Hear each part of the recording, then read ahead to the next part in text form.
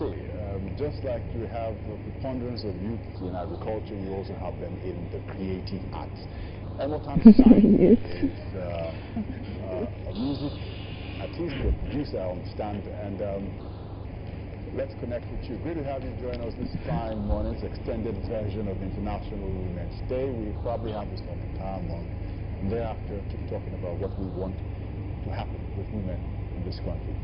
Uh, what does it mean for you as a young woman on this International Women's Day extended version we're talking about? What does it mean to you? Um, uh, thank you for the compliment. I don't know if I'm so young, but you know, um, sorry, I think there's a the sound is gone. The sound is gone.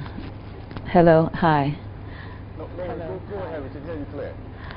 Okay, so National Women's Day. I think National Women's Day. I think it's a it's a day to obviously of remembrance of women, of putting women center stage, um, because women do a lot um, without like you know. I think the lady that came, the two ladies that have spoken before me have said most of the stuff already.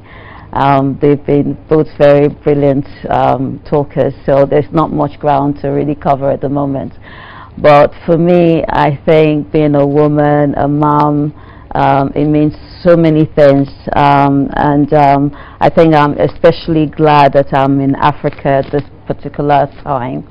Um, because obviously I spend a lot of my time, my life abroad. So, um, and being in a woman in Africa is completely different to being a woman in um, in the UK, for instance.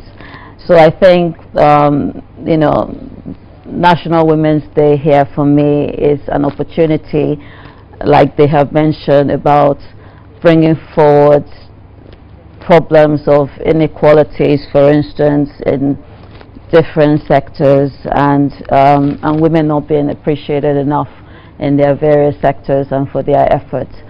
Um, so um, you know, so but and then obviously also a big celebration and praise for all those people that are doing incredible jobs and um, and um, basically just doing the work and not really there for the show. Um, I think that's the key um, because I think that's what women mostly do. They're there um, and do the work and not for the show. I think um, what came to mind has been the EndSARS incidents and protests that happened uh, was obviously very distressing to watch. And at the same time, um, it was extremely encouraging to see a lot of young women come out and make a stand and find their voice.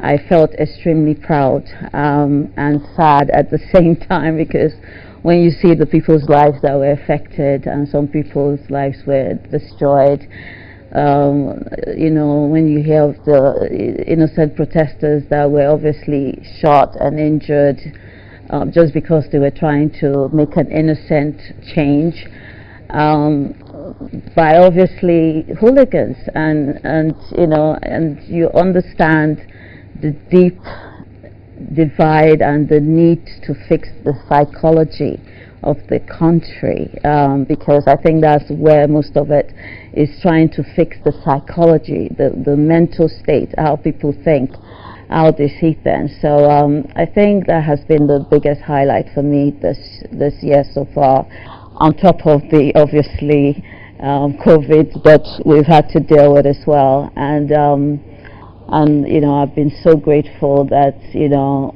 whereas uh, originally everyone thought Nigeria, Africa especially was going to be in a very massive bad situation, but so far so good. We've been we've done a lot better than we could have hoped or imagined, I think.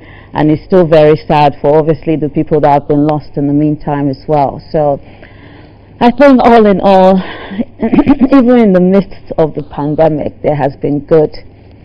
So I'm someone that understands that Right, right. understands that in every situation, yeah, there's Excellent.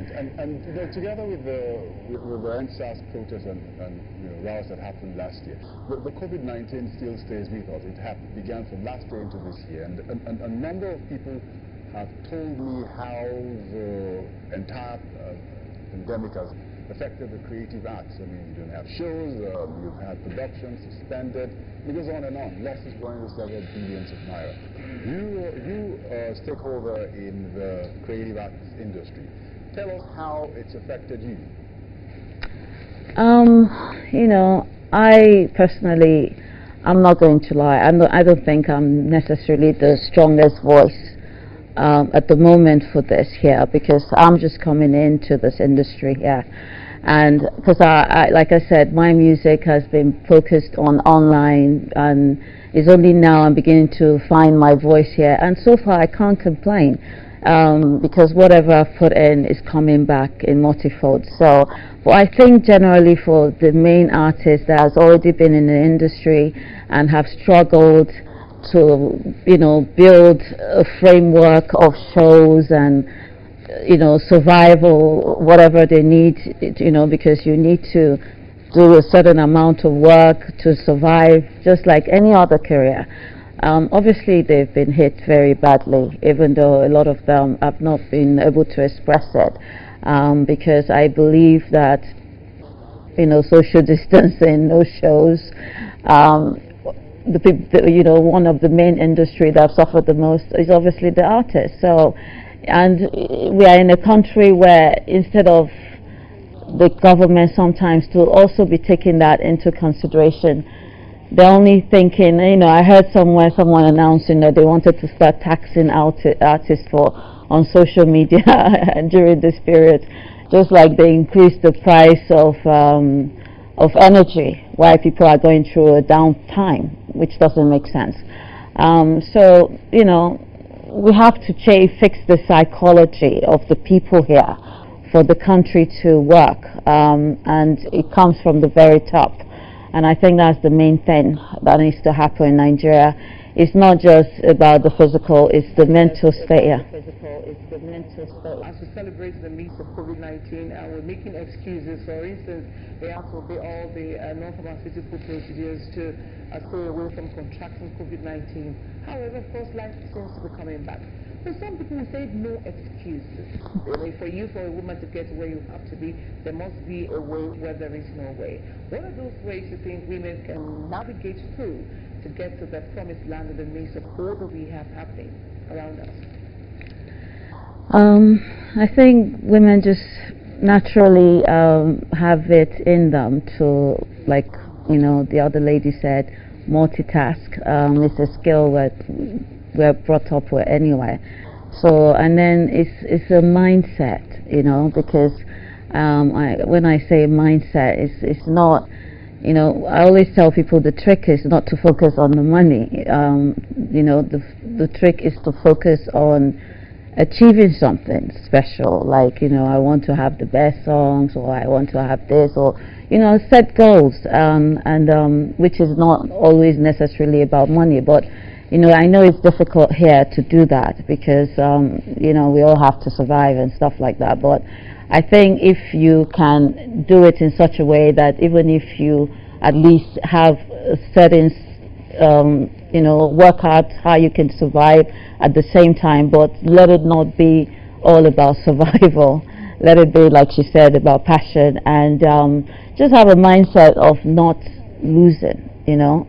You, you can't lose when you don't accept loss. So if, if you fall down, like she said, you get up again and you continue. You learn the lesson.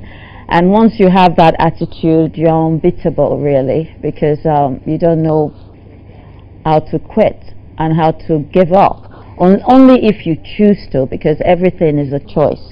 So um, I think that once you have a particular mindset, that takes you a long way.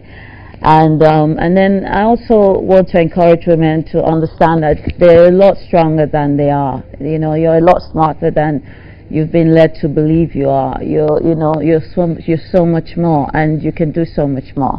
And and so and um, you know and I think Another thing that is very important is, you know, especially from home when you have a little girl, is, is what you're feeding in the home to the girls as well. How you encourage them, how you motivate them, you know, the kind of discussions you have with them. Everything is molding the child. So I think, you know, we all have to work together is the message from the home to the schools to the government to everybody. We're all in it together and we need to basically make it happen together. That's the only way it's going to work out. The only way it's going to work out. Thank you, Mr. Shai, musician mm-hmm. and entertainer. Join us from Abuja Studios. Thank you so much for your time and for. Thank you.